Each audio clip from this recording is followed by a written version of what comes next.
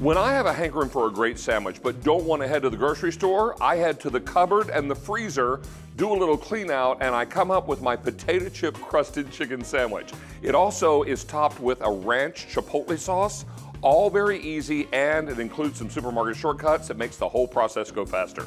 Now, the first thing you're gonna do is thaw out your chicken tenders, not whole chicken breasts, but chicken tenders. We're gonna take the strips to build the sandwich and most of us usually have these on hand in the freezer. Now, I've created a classic breading station.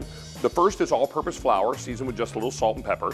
Then it's some egg and buttermilk. Buttermilk adds a richness and a tang to this chicken when you bake it off in the oven, which is great.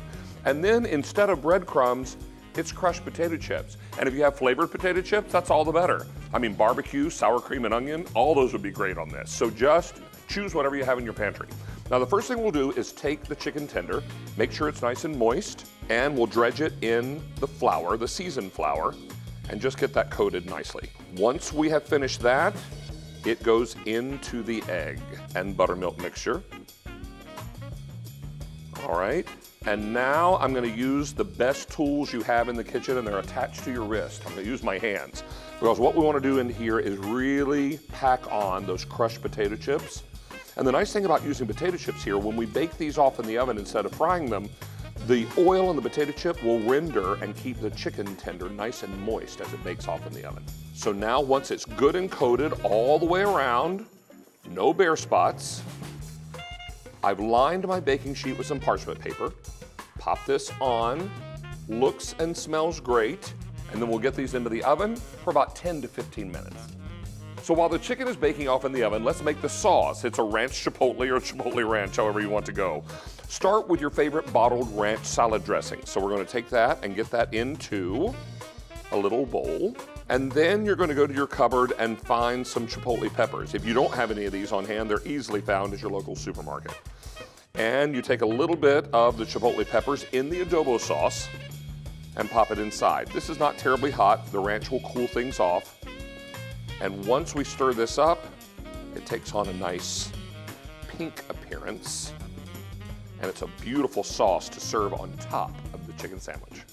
So the sauce is done, the chicken's out of the oven. What do you say we build the sandwich? Now this starts with a delicious sweet brioche roll. Now these are already split.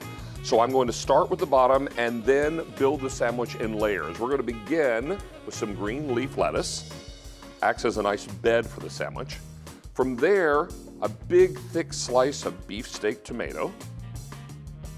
And then you can go with any onion you like. I have red onion today. You could also use Vidalia onion. That would certainly be nice. Nice sweet onion on this would be delicious. And then you're going to take two to three of the chicken tenders, depending on size. So we'll pop these on. Two of those I think are gonna make a nice healthy size sandwich. And then get the cheese onto that warm chicken so it begins to melt.